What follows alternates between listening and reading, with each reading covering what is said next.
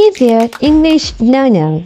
Welcome to our video on super fast traits to become fluent in English. I'm your host, Misbah Khalid, and I'll be sharing some amazing tips to help you improve your English skills quickly and easily. Let's get started. Trick 1. Immerse yourself in the English language. Surround yourself with English media like TV shows, movies, podcasts, and books. This will help you get used to the sounds, rhythms, and grammar of the language. Trick 2. Speak English daily. Practice speaking with native speakers, friends, or even yourself for 10 to 15 minutes every day. This will help you build confidence and improve your pronunciation.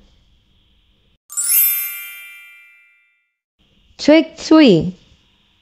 Learn common phrases and expressions instead of individual vocabulary. This will help you communicate effectively and sound more natural. Trick 4. Listen actively to English content. Pay attention to natural speech rhythms and intonation. Repeat what you hear to improve your pronunciation and comprehension. Trick 5. Read widely and often. Expose yourself to various writing styles, genres, and authors. This will help you improve your reading comprehension and vocabulary. Trick 6. Use flashcards to learn new vocabulary. Review them regularly and practice using them in context. Trick 7. Practice active listening. Repeat what you hear to improve your pronunciation and comprehension. Trick 8. Learn the basics of English grammar. Understand the rules and practice applying them in context.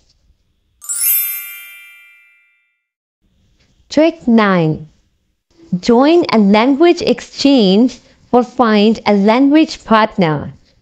Practice speaking and listening with native speakers or fluent learners.